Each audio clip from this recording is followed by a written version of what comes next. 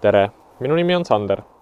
Ja minu lühifilmi stsenaarium Rauapuudus on psühholoogiline, dialoogikeskne ja kergelt absurdimaiguline lugu kahest mehest, kes kohtuvad rabas, kellest üks ei ole kaua rauda manustanud ja teine ei ole seda oma kehal kaua tunda saanud.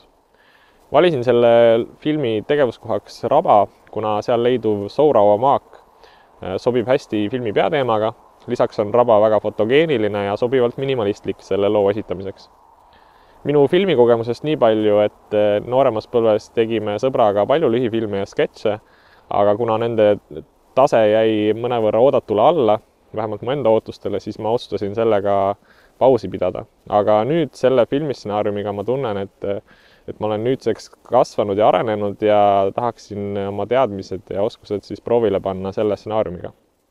ja minu filmimeeskonnas on praegu nii asjaarmastajaid kui kogenumaid inimesi ja ma täitsa usun, et äh, väheste vahenditega on võimalik sellest stsenaariumist äh, väga hea tulemus välja pigistada. ja just seda ma üritangi teha. aitäh!